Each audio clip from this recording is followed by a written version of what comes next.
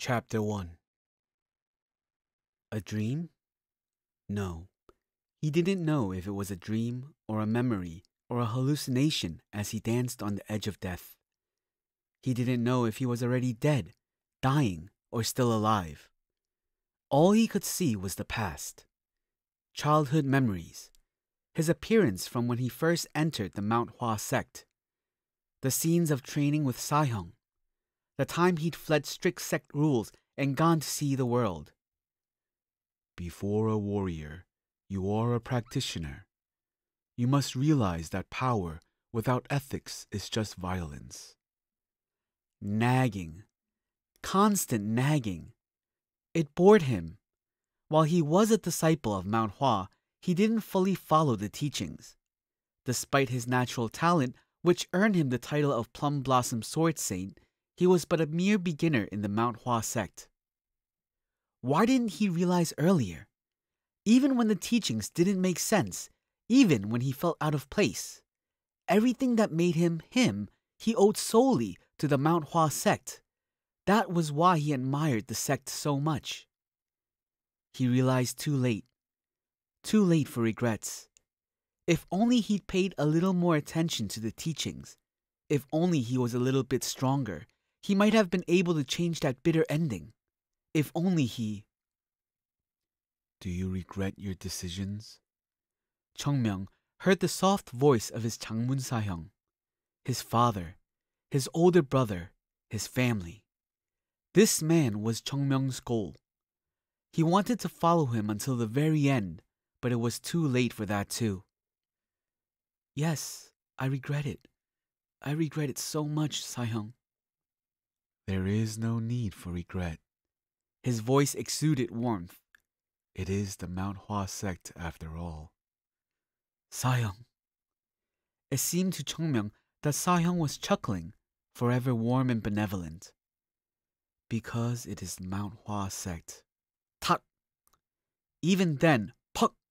Huh? What? Ugh! It hurts. My head. I don't get it. What kind of pain is this? Is this what it feels like when your limbs are cut off?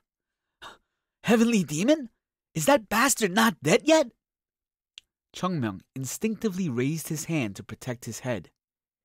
If he wasn't dead yet, these attacks would finish him off for good. Heavenly demon. But the voice that answered him wasn't the heavenly demon, but a thick, sniveling voice he didn't recognize. Huh? When he opened his eyes, the face was equally unfamiliar. A beggar? Beggar. A beginner, judging by the knot tied around his waist. He just started. A beggar among beggars. The beggar with the grumpy, scruffy face eyed Myung. What is this? He couldn't understand what was happening. Heavenly demon, yeah, right. The beggar's face flushed red with irritation. You lazy bum, still sleep talking. Everyone else has gone off to beg, but you're still here sleeping like you did something great. Yeah, do I make you laugh, huh? The beggar hefted his bamboo stick. Hold on. Is this kid threatening me right now? Huh? The beggar was startled by Chung Myung's sudden smirk. It was an odd situation, but he didn't feel like he needed to bother with context. Just who was Chung Myung after all? He handily ranked among the top three of all the numerous swordsmen in the world. People praised his sword style as the true essence of Mount Hua and dubbed him the Plum Blossom Sword Saint. The two other great swordsmen weren't even worthy of being his opponents. Even the heavenly demon, in his final moments, acknowledged Myung's swordsmanship. Disciples and sect leaders alike bowed before him. But this beggar was making a threat? A threat? Huh? Uh, are you laughing now? Look here, kid. Look here? I'm struggling to understand the situation. But for starters, you can put that thing down. the beggar could only laugh. Myung scowled. How dare he react to him like this? And then the beggar smacked Myung with his bamboo stick. Huh? Myung was dumbfounded. How dare a mere beggar do something like this, knowing who I am. No matter what happened, I'm going to fix this beggar's attitude before the day is up. First, let me stop that batten. baton. Myung raised his right arm. What? Huh? Slow. Why are my arms so slow? The baton was flying towards him, but Myung's hand were yet able to reach for the baton in time. It made no sense. With my speed, I should already be holding that stick. Ah, maybe it was because of my injuries. Then all I have to do is move on to my guts. Huh? What's that? On the edge of his vision, he saw a small hand appear, moving towards the baton at a snail's pace. Too slow and too short. Huh? Hands that small can't stop it. This isn't going to work. The stick landed squarely on Chung Myung's head. Chung Myung collapsed to the ground convulsing. All of his thoughts were driven away by the skull-splitting pain. Chung Myung clutched his head and rolled over. Even his arm being ripped off hadn't hurt like this. You bastard! The beggar laid into him in earnest. Situation? Understand the situation. Oh, I'll do that. But I'll make sure you understand the situation first. If you go crazy, you go crazy. Stupid bastard. Did the heat rot your brain? The medicine for heat is getting hit, you bastard. Uh, uh, uh! You crazy beggar! Stop right now! If not, uh, uh. Die! Die! Uh, it hurts! Uh! Myung's cry changed little by little as he was beaten.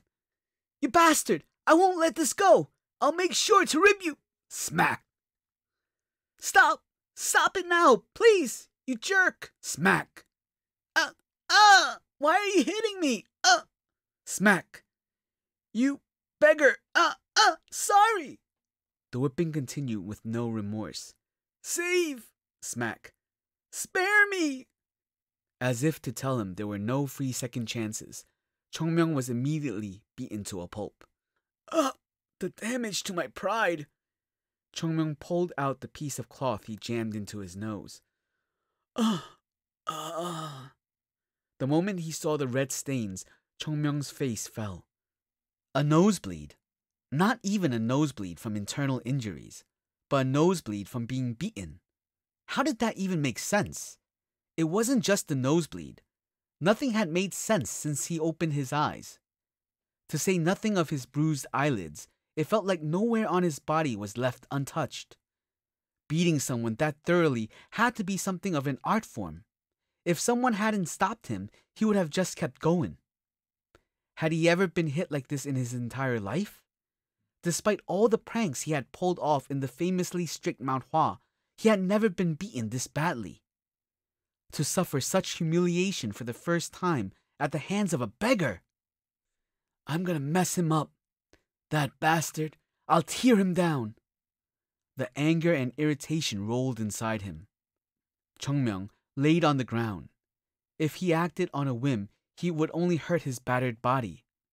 No, rather than that, Myung heaved himself up and stared into the river. An unfamiliar young face greeted him. When Myung contorted his face, the young man did too. When Myung sighed, the young man did too. What is going on here? Why is there a kid's face in the water? No, it was a nice face. The change in his face didn't bother him. After all, the younger the better, no?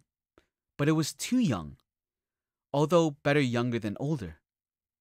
Besides, no matter how much he compared them, this face was a lot more charming and handsome than the old Chung Myung.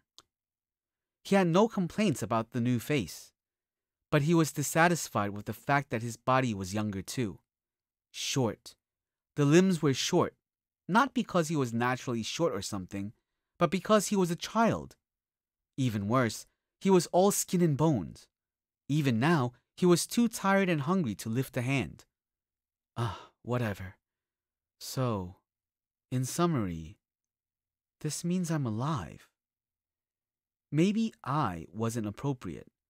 No matter how hard he looked, his appearance looked nothing like the plum blossom sword saint, Chung Myung. The sword saint was gone. His soul and all his memories, now resided in the body of a child beggar. This must be the devil's work. Or maybe it was Buddhist reincarnation. Had he had known this beforehand, he would have joined Shaolin instead of Mount Hua. He wondered if the heavenly demon had used some kind of disgusting magic on him. But if he could perform such feats, he would already be ruling the entire world. Chung Myung didn't really care what had happened, but he had to admit that everything around him was real. This was neither a dream nor fantasy. His entire body throbbed with pain. The more he thought about it, the angrier he became. Nothing will change if I keep sitting around and thinking about it. First, I need to figure out what's happening and what exactly happened. Chung Myung hopped up and ran to the beggar's tent. Or he tried to run at least. Within a couple of steps, he fell. You sure did a number on me, you goddamn beggar. Chung Myung's eyes rolled angrily. No matter what happens, I'll make sure to pay you back for this.